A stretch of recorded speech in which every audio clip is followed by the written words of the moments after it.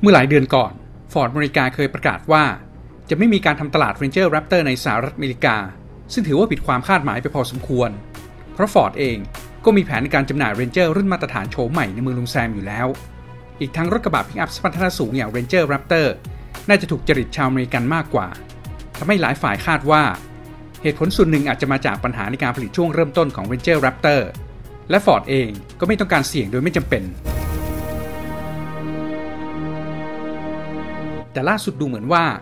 การไม่ทำตลาดในอเมริกา อาจจะถูกจำกัดไว้เฉพาะ Ranger Raptor Generation ปัจจุบันเท่านั้น เมื่อเว็บไซต์ Motor One รายงานว่า มีผู้พบเห็นรถกระบะสีขาวของ Ford ที่พรางตัวถังไว้เฉพาะด้านหน้า วิ่งทดสอบในย่านหนึ่งของรัฐมิชิแกนที่คาดว่าน่าจะเป็น Ranger Raptor แต่เมื่อพิจารณารูปโฉมที่สังเกตเห็นได้ในบางจุดคาดว่ามันน่าจะใช่ Ranger Raptor โฉมปัจจุบันเลยทีเดียว จากลวดลายของไฟหน้าและเส้นสายกระจังหน้า ที่ในภาพจะเป็นแบบแนวตั้ง แต่จะยังใช้ตัวถังเดิมในการทดสอบรถ ในด้านสมรรถนะและวิศวกรรมต่างๆ ก่อนที่จะถูกสวมร่างจริง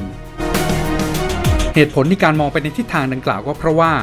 ปัจจุบัน Ford เองก็มีการทดสอบ Ranger Raptor รุ่นใหม่ ที่มีการเปิดหน้าเปิดตาให้เห็นกันชัดเจนในช่วงนี้เช่นกัน โดยมีการคาดหมายว่า Ranger Raptor รุ่นใหม่นี้ เป็นเวอร์ชันอเมริกาที่จะมาพร้อมเครื่องยนต์ V6 ที่คาดว่าจะใช้กลุ่มพลัง EcoBoost 2.7 ลิตร 325 แรงม้า แรงบิดสูงสุด 542 นิวตันเมตร โดยคาดว่าจะมีการเปิดตัวอย่างเป็นทางการในปี 2020 เป็นอย่างเร็ว ส่วนการที่ Ford กำลังซุ่มพัฒนา All New Ranger Raptor ด้วยหรือไม่นั้น เวลาจะเป็นตัวเฉลยในอนาคตอันใกล้